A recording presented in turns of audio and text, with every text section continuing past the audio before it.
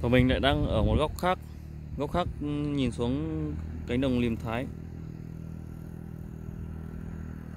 Đây cái đường bê tông xuống này. Đây này, trước màn hình này.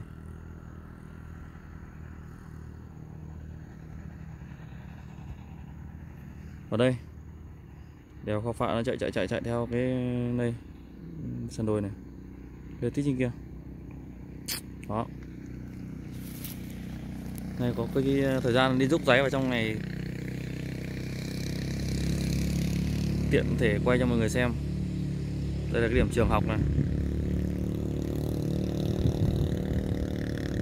Trường học trung tâm xã.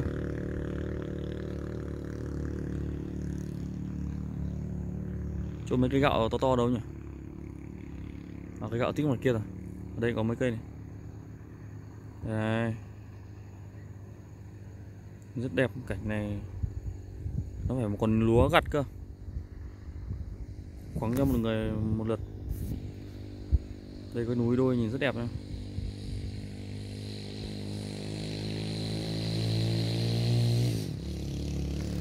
dù mông đang rồ ga ác.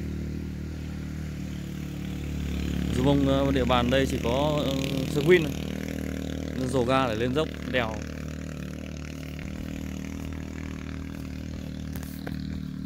Đây là một bãi đất trống rất phẳng. Đấy, Mọi người à, có thấy